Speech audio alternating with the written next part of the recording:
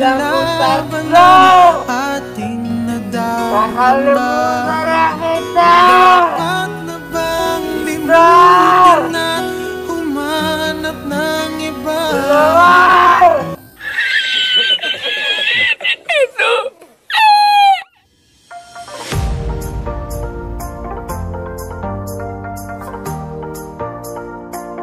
Chong, kapag akit tayo dito, kailangan maingat tayo ha.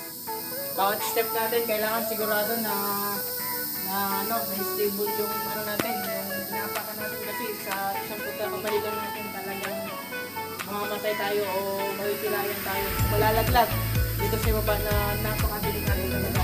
So kaya kapag akit tayo, kailangan naka-rubber shoes ha. Huwag niyong nagayain.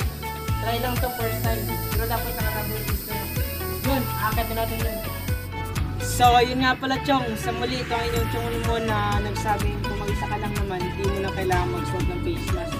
Pero kapag nasa lugar ka ng maraming tao, galiin magsuot ng face mask. Lalong-lalo na ngayon na dumaraming muli ang kaso ng, ano, ng COVID dito sa bansang Pilipinas, dito sa bayan ng El.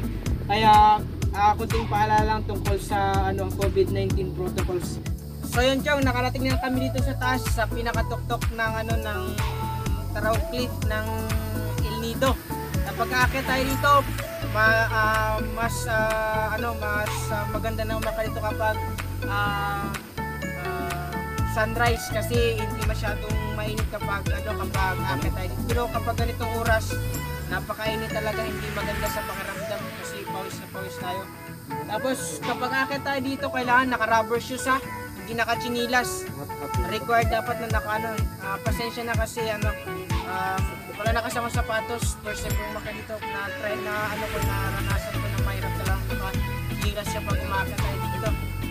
Tapos, start tayo dun sa baba, siguro it takes mga ano, mga um, ah, mga um, 30 minutes, yun, mataas na yun, 30 minutes bago tayo makarating dito sa taas.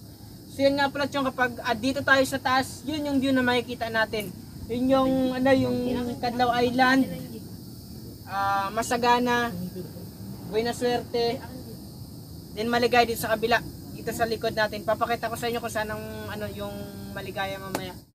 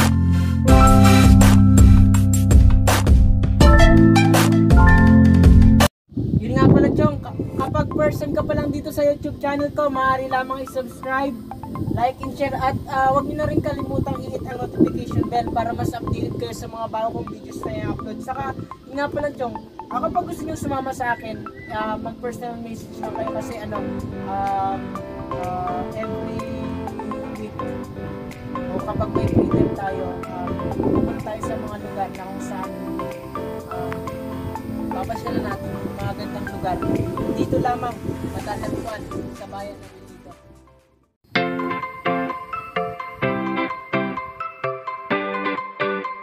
Jimson Gabasin, uh, tigas ng lamuro, Kanino ba? si Waxtake, yung manig deliver ng block. Saka sa anak ni streamer na si Justin, Ju- Justin. Ah, chicks boy sa lamor na ang chicks, arahilig sa kanya. Hindi pa lutan, hindi pa magka-chicks. Got him! Got him!